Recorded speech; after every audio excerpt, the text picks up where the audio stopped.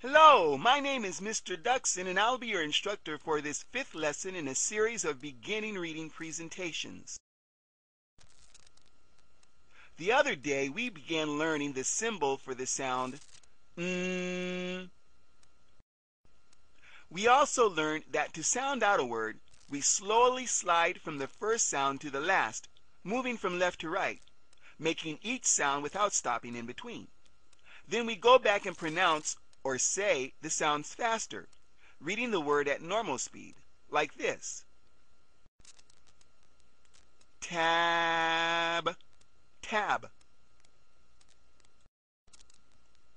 When we say the sounds that the letters tell us to say, without guessing and without stopping in between the sounds, we automatically read the word correctly. Again, we begin by saying the first sound and then sliding to the sounds that follow. Listen carefully as I sound out the word tab again. Tab, tab. So today, you're going to have fun sounding out words all on your own. But first, let's finish getting familiar with the consonant sound mm.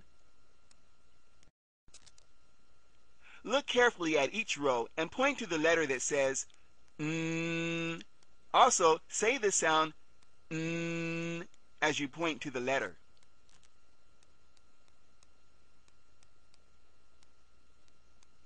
Fantastic!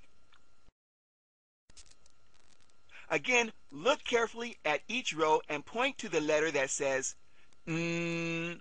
Also, say the sound mm as you point to the letter.